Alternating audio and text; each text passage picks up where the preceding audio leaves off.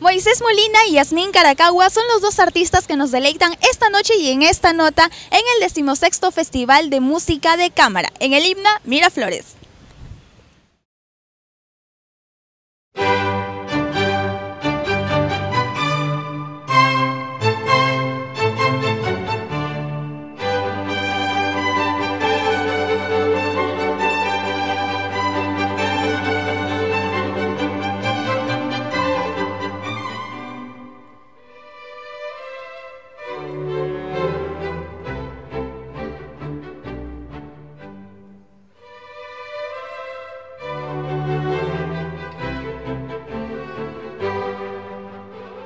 Estamos con Moisés, que ha sido uno de los artistas que nos ha deleitado esta noche junto con Yasmín, que ahorita le vamos a alcanzar.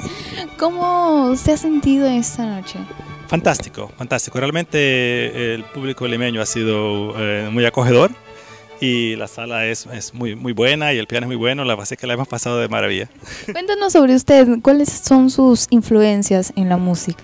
En la música yo comencé a estudiar cello en Honduras, yo soy originalmente hondureño y después eh, conseguí becas para ir a estudiar a los Estados Unidos, saqué mi, mi, uh, mis estudios universitarios y aún de posgrado.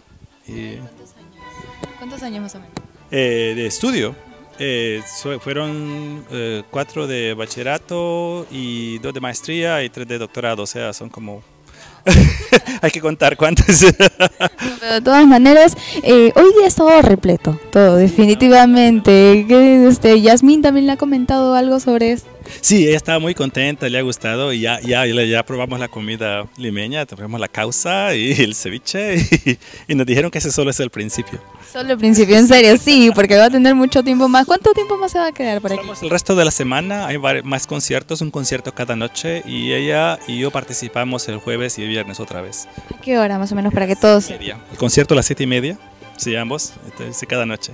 Okay, ya saben que están invitados junto al maestro, tienen eh, todo un repertorio para que ustedes puedan disfrutar aquí en el himna de Miraflores junto a Moisés y a Yasmin. Muchísimas gracias. Gracias a usted. Gracias a usted.